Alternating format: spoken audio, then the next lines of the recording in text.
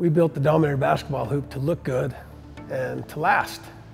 It's important for us to have our products look good. In fact, it's important to you. You're going to put this on the outside of your house, either on your driveway or on your side court or backyard court, and you want it to look good. We want, we want it to add value to your house. We want you to be proud of it.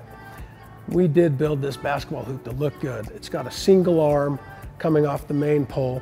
There's not a bunch of monstrosity of poles and arms that are shoot that are going up to the corners of the backboards and that are cantilevering out over the main pole.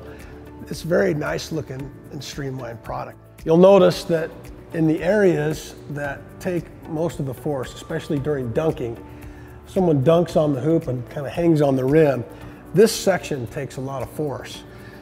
These are these bolts are going through a half inch thick collar that's connected to this pole here.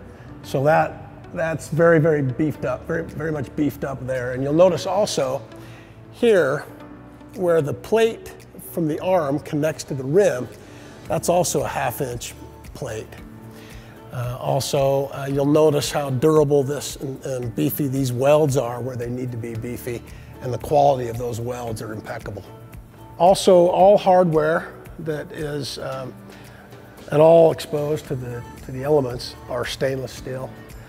And they're, um, they're stainless steel um, here. You'll notice that it's, you're using stainless steel here and on all the, all the rims and everywhere. We're, we use stainless steel. We also have um, this plate that we, that we call the uh, adjustment plate or wheel. This is made out of aluminum and the hardware is also stainless steel. This handle is turning the, the sprocket, the chain sprocket that's inside, riding inside, and you'll see how easily I'm able to adjust this hoop.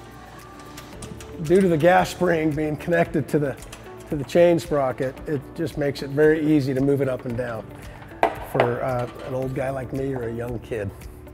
You'll also notice that when you get to your desired height, this pin fits in, the, in that design slot and that holds it in place. Also built inside this pole is an added safety feature that we felt like was important.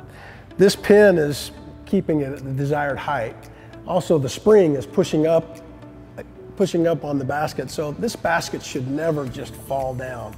But just because we care about safety, we've added an extra safety feature. It's just like a safety belt in your car. There's a safety belt in here. If there was ever some kind of catastrophic failure, to any of these, uh, to the spring or to this, um, they would both have to fail. But if that were to ever to happen, which we've never seen happen before, but if it were, that safety belt would catch and uh, prevent the hoop from falling down. So there really are three different um, features built into this hoop so that it should never come crashing down on someone. Underneath this plastic cover, you'll see that these Nylatron rollers, these are very high quality uh, material called Nylatron. They're strong and durable, will last forever. Those rollers that are connected to the outside pole are riding against the inner pole. If you look down in there, you can see that they hold that, that inner pole steady.